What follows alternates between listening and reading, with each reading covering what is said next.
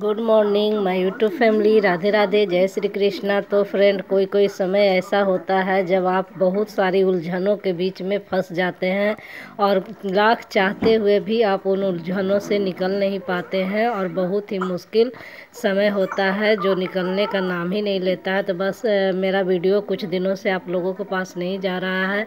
क्योंकि मेरे पास अभी टाइम ही नहीं मिल रहा है कि मैं कोई वीडियो बना पाऊँ या उसका एडिटिंग कर पाऊँ।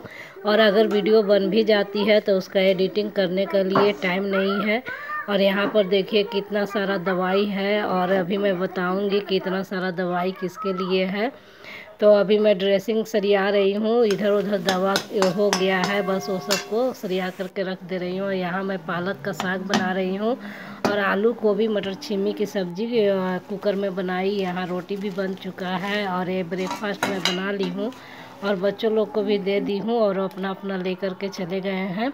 और ये देखिए, ये बैठ गए हैं अपना ब्रेकफास्ट करने के लिए और देखिए कितना सारा दवा लेकर के बैठे हुए हैं। क्या है कि कुछ दिनों से इनकी तबीयत अच्छी नहीं है, बहुत ही दिक्कत हो रहा है। डॉक्टर, बदल बदल करके डॉक्टर को दिखा रही हूँ, डॉक्टरों के चक्कर में इधर उधर भाग रही हूँ, लेकिन कुछ भी हो नहीं रहा है मतलब ठीक नहीं हो रहा है। सीज़न चेंज होने के कारण इनको इतना ज़ोर से खांसी हो रहा है कि रात भर वो सो नहीं पा रहे हैं। बस कोई भी दवाई खांसी में काम नहीं कर रहा है। सुई वगैरह भी दिलवाई हूँ, लेकिन ये रात भर खांसते ही रह जा रहे हैं। तो रात भर सभी लोग मतलब हम लोग जागे रह जा रहे हैं। मैं भी इनकी सेवा में रह जाती हूँ। रात भर जागी हुई तो दिन में थोड़ा हरासमेंट जैसा लगता है। और काम बहुत ज़्यादा फैल गया है। गर्म पानी करके दो, दवा दो। Hello my YouTube family Radhe Radhe. जय श्री कृष्णा. तो फ्रेंड मैं तीन चार दिन से वीडियो नहीं डाल पा रही हूँ क्योंकि मैं बहुत ही परेशान अभी हूँ सीज़न चेंज होने के कारण इनका सर्दी खांसी ऐसा हो गया कि तीन दिन से परेशान है। और आज थोड़ा सा रेस्ट कर रहे हैं। अभी बज रहा है, एक बजने जा रहा है तो थोड़ा दो तीन घंटा आज रेस्ट से तो थोड़ा अच्छा आज इनको लग रहा है। एक बीमार आदमी के साथ सारा काम करते हुए बहुत ही ज़्यादा दिक्कत हो जा रहा है। तो अभी अब मैं पूजा करूँगी। अभी तक मेरा पूजा नहीं हुआ है।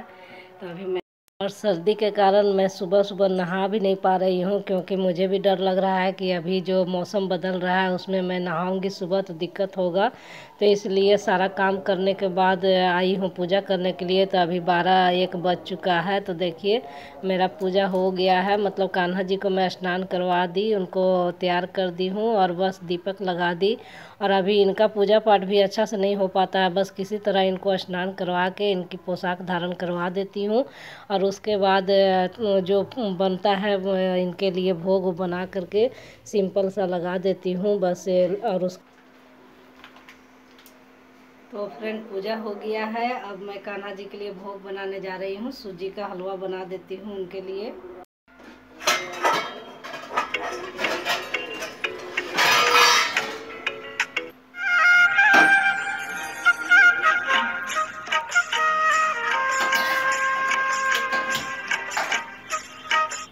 इनका तबीयत खराब होने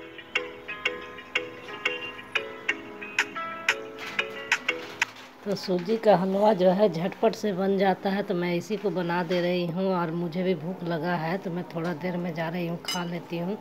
इस समय होते होते बहुत ज़्यादा तेज़ भूख लग जाता है और यहाँ दूध भी गर्म कर दी हूँ और कान्हा जी को मैं दे दे रही हूँ, दूध और हलवे का भोग लगा दी हूँ।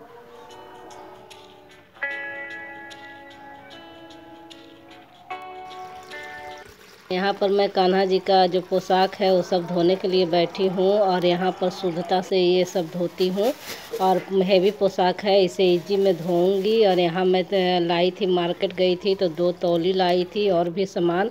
तो मैं बिना और इसे बिना धोए हुए मैं कान्हा जी के लिए यूज़ नहीं करूँगी क्योंकि ये कितने लोगों का हाथ लगता है, इसलिए मैं इसे पहले धो लेती हूँ, फिर अच्छा से सुखा लूँगी, उसके बाद यूज़ करूँगी।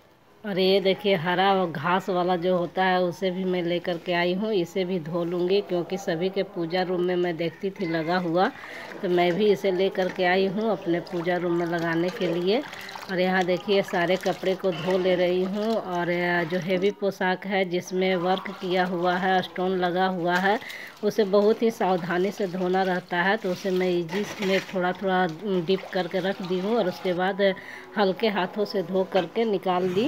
और अब मैं इनके लिए लंच निकाल रही हूँ। यहाँ मैं बनाई हूँ दलिया तो उसे भी निकाल करके और दे दे रही हूँ ठंडा करके।